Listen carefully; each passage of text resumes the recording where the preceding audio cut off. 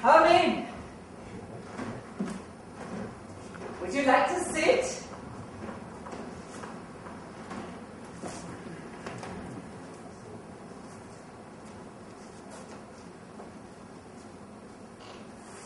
They're on their way.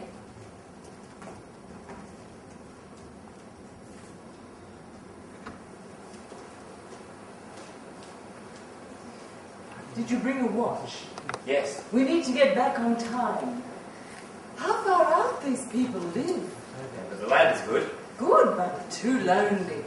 Four hours' journey and we hardly saw a house or a tree. Well, we're in a drought. Your father would have covered the land in trees. Without water. He would have found it. During our three years together, he planted ten cherry trees, three walnuts at the mill, an entire vineyard, and a plant with fleshy flowers called uh, Jupiter.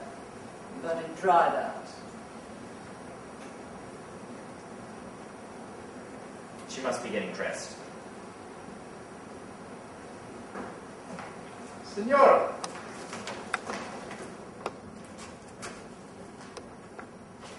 Did the journey take long? Four hours. Well, you must have come a long way.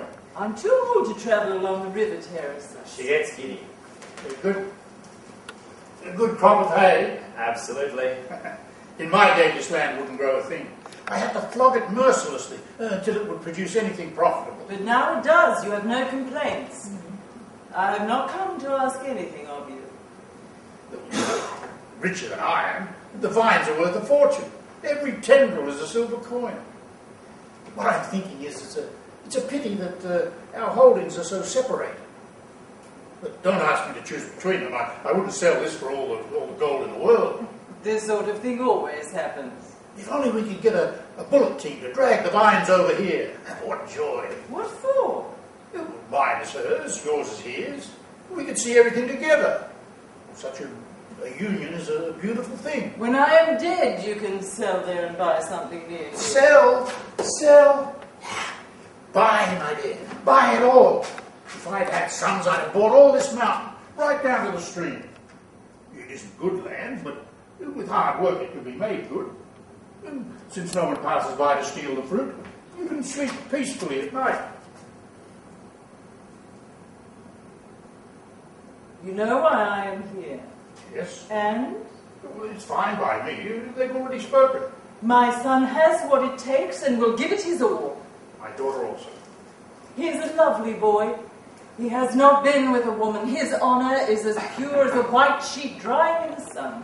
I can say the same for her. She uh, prays to the morning star. She, she's quiet and soft as wool. She can embroider whatever. And she's got a rope with her teeth.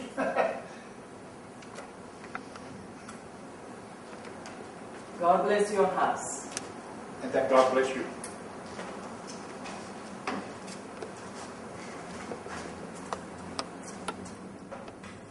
When do you want the wedding? Uh, next Thursday.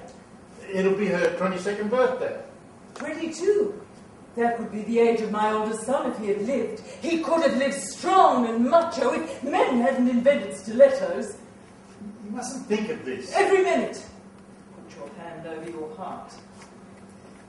Thursday, then. Is that all? That's it.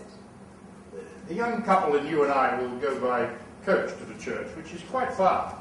The rest of the party can follow by uh, carts or by horse. Agreed. Tell her to come in. It'll make me happy if you like her.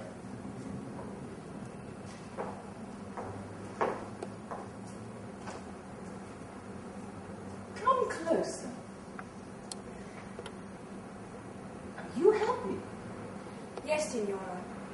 Don't be so serious. When it's all said and done, she'll be your mother. I am happy. When I said yes, it was because I wanted to. Naturally.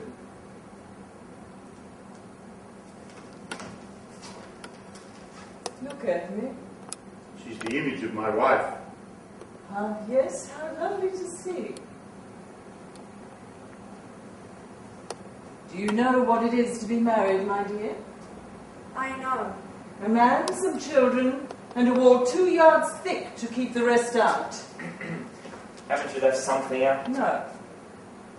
Ah, that all live happily ever after. That's it. Long live everyone. I will know how to fulfill my side. Here, we have some presents. Thank you. Did you, will you have some? No, not for me. And you? Ah, yes. Wine? He doesn't drink. Even better. I will come tomorrow At what time? at five. I'll expect you. You know, when I'm around you, I, I feel almost unraveled and there's this lump in my throat. When you're my husband, you won't feel that. That's what I say. Let's go. The sun doesn't wait. We are agreed on all things? We are. Goodbye, my dear. Go with God. Goodbye, daughter.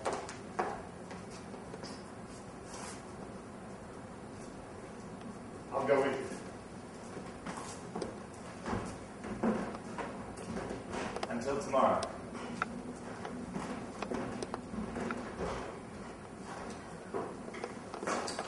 Bursting to see the presents. Stop. Oh, come on, child, show me them. I don't want to. But at least they're stockings. They say they are totally woven. Come I on. said no. Oh, good God. You act as though you don't want to be married. I. Oh, baby. Little one, what's wrong? Oh, you don't want to lead this life of a princess. Oh, don't upset yourself. What reason would you have? We're going to look at the gifts. Let go. Oh, come on, go. I said leave it. Oh, you're stronger than a man. Well, haven't I done a man's work? Oh, then get away. Talk like this. Shut up. Let's talk about something else.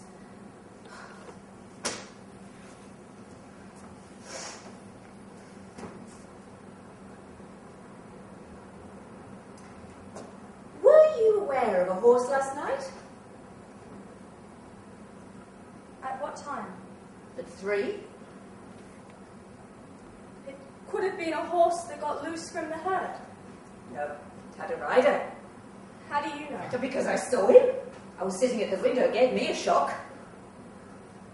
It wasn't my fiance. Sometimes he comes by at that time. No. Well, did you see him? Yes, Who was it? it was Leonardo. Liar. What would he come here came. Shut up. Curse your tongue. Ah. Look. Get up here and look.